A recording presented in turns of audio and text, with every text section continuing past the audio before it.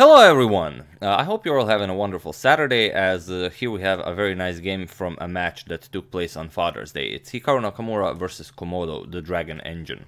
Now, uh, it's a new engine on chess.com, it has uh, 20, uh, 20 levels and this is a game he played uh, against Komodo level 14. Now, in all of the games Nakamura had the white pieces, but after the game he also played, after the match of 20 games, uh, he played against all 20 levels. Then he also played uh, three more games, but against a stronger, improved version. But we're gonna uh, visit that uh, after we check out this game. So as human engine uh, matches today are very rare, so it's very interesting that uh, Nakamura agreed to do this. And we're gonna check out his result after we check out this game. So prior to this game, he already defeated the first 13 levels, and now he faces level 14. Uh, I, I, believe it's rated around uh, 2100 something, uh, but you know, if, if you think that's like playing against a 21 something human, you would be you would be mistaken because it's always more difficult to play against an engine. but you are also welcome to challenge level 14 yourselves and see for yourself. So that being said, uh, let's check it out. Uh, Nakamura has the white pieces and he opens with b3, the Nimzowitsch Larsen attack, and he has the right idea. Uh, you don't wanna you don't wanna try uh, some aggressive openings and you know take uh, take the game immediately into um, you know he heavy combination waters. So uh, better to go strategically into this match. we have d5, bishop to b2, knight f6, e3, and c5 uh, knight to e2, knight to c6, and now d3. Uh, d4 could have been uh, also played, but uh, here Nakamura plays d3 and he allows this d4. Uh, okay, we have e4. Now this dark square bishop isn't doing all that well. e5, g3, bishop to e7. Nakamura uh, fianchettos the second bishop as well. And here you could simply start with castles, maybe develop the bishop or something. Uh, but here actually Stockfish, uh, not Stockfish, Komodo goes for a very interesting pawn sacrifice. Uh, here Komodo plays c4 and it's uh, very interesting that uh, you can you can actually capture this pawn with either the b pawn or the d pawn. But of course, it's always you know it's principle to capture towards the center, and it's inter interesting why Komodo does this. After b captures um, on c4, uh, queen to b6 is played, so developing the queen uh, with an attack on the bishop. So still forcing Nakamura to figure what to do here, and still kind of keeping his king in the center of the board. Uh, bishop to c1, getting the bishop out of the way. Now bishop to g4. Uh, we have castles, castles, and now h3, kicking the bishop back. Uh, bishop to d7, knight to d2. Uh, we have a6, and here Nakamura is up a pawn, but uh, his position is very boxed in. So here he decides uh, to seemingly ruin his position, but not really. he plays f4. We have e captures on f4, g captures on f4, and now knight to e8 uh, preparing to, uh, to remaneuver the knight and also make uh, make room for his bishops.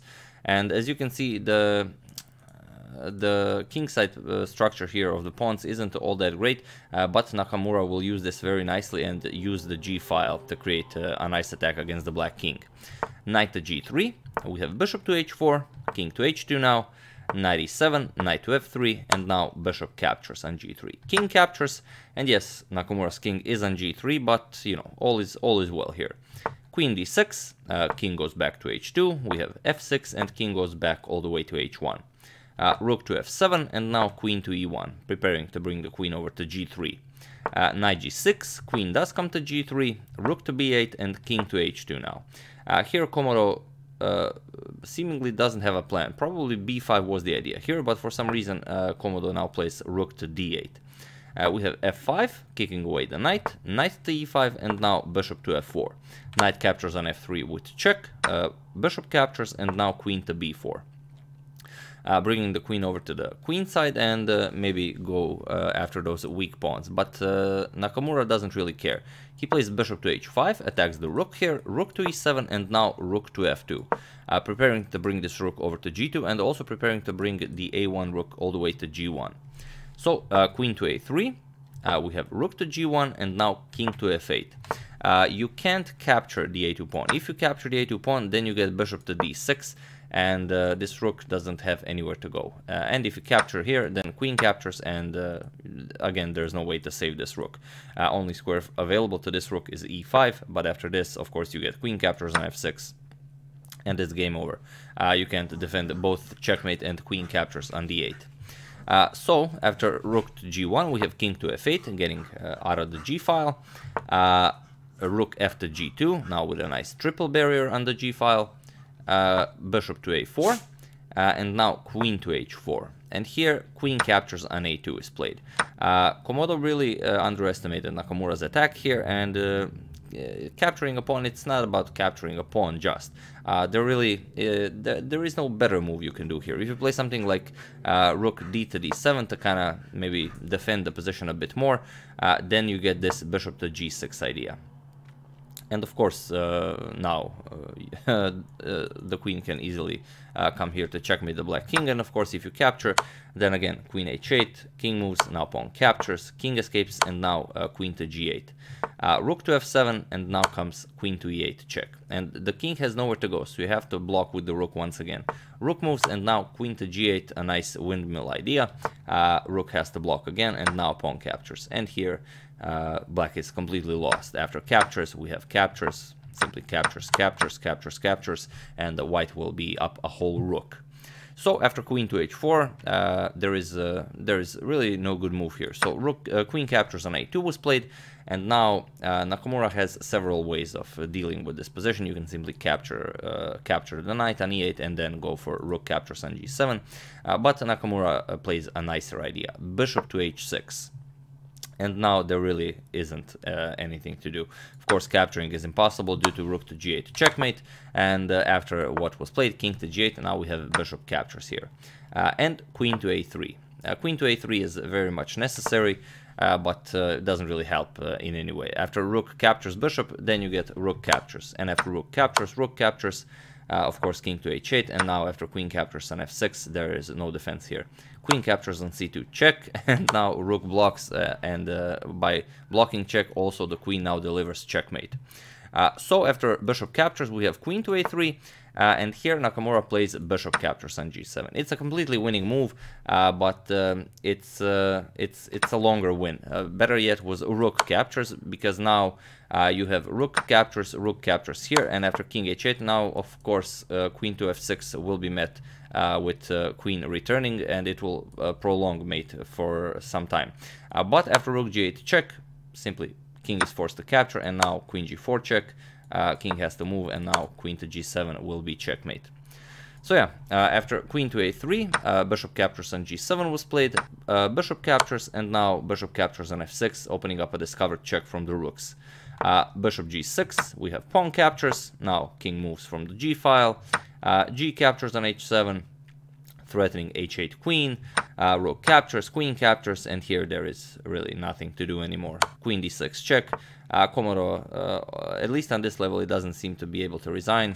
So here, uh, even even the queen is uh, given bishop captures, and after king here, uh, Nakamura even delivers checkmate to Komodo, the the dragon engine. So rook to g8, and this is checkmate. So yeah, uh, a very nice game by Nakamura against uh, Komodo level 14, and uh, it's interesting, uh, yeah, we already said that he defeated all 13 levels prior to level 14, and he defeated all levels uh, up to level 19, and he defeated level 19, and only uh, he lost one game, and that's the Komodo level 20. Uh, I'll also, uh, I, if you want, I can also show that game as, as, it's very nice. And then after these 20 games, uh, Nakamura faced an even stronger Komodo engine called Komodo Mon Monte Carlo. And here I did prepare some uh, it's from an article by Peter Doggers on chess.com. Uh, as you can see, in these three games, uh, all with 10 minutes uh, plus 5 seconds increment, Komodo Monte Carlo was running on a powerful 16-core computer, uh, i9-7960X, uh, overclocked to 4.1 gigahertz, 64 gigabytes of RAM, and 5-piece ZigZag endgame tablebases. Okay, and the key difference uh, is that uh, Komodo Monte Carlo chooses its moves by win probability instead of traditional evaluation. Uh, the approach is similar to the probabilistic methods of the machine learning chess projects AlphaZero and Leela Chess. So very interesting, but against the Komodo Monte Carlo, Nakamura did not play regular chess. Uh, rather, uh, of course, uh, the the strong engine had to give Nakamura odds, and in all three games, the, the odds were different and were very interesting. So I'll put I will put a link to the original article. You're very welcome to check it out and check out all of the games there, especially the three games against Komodo Monte Carlo. So yeah, uh, that's uh, that's the game. I do hope you enjoyed it. Uh, I would like to thank uh, Thomas Thompson and Oliver Purge for a contribution to my channel, and uh, you know, uh, congratulations Oliver on your three and a half points out of 15, and you know, play less poker, more chess. So yeah, as usual, you can check two of my previous videos here. Thank you for watching, and I will see you soon with hopefully a nice video. And I almost forgot, yeah, I did prepare a photo challenge for this video. Uh, so here it is, best of luck to everyone. You all know who it is, so I'm pretty sure you're gonna really nail this one. Here it is, uh, who is this very nice gentleman? So yeah, uh, that's it. Uh, thank you all, and I will see you soon.